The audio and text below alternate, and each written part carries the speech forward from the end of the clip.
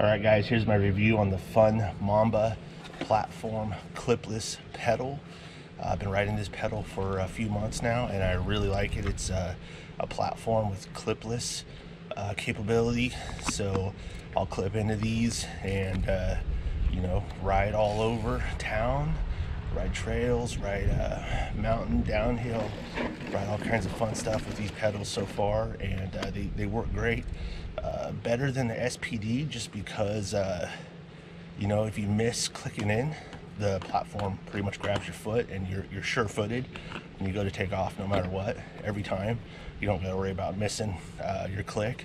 So, um, you know, that's great when you're up in the mountains or riding, you know, some technical uh, type stuff where you don't have a long run in and you're pretty much just going as soon as you hit the pedal. And, uh, you know, these are uh, guaranteed to uh, you know give you that torque. You you step right down on you know this big old platform every time. So um, I really uh, like these pedals. They're they're great. I just rode them without clips and uh, just with my regular old 510s, uh, tennis shoes.